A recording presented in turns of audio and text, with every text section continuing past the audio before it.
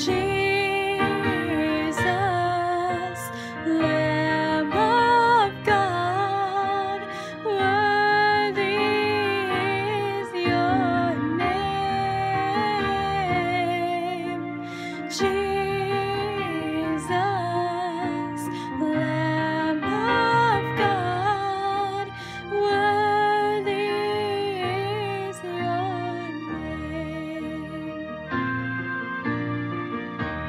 taking my sin, my cross, my shame, rising again, I bless your name. You are my own.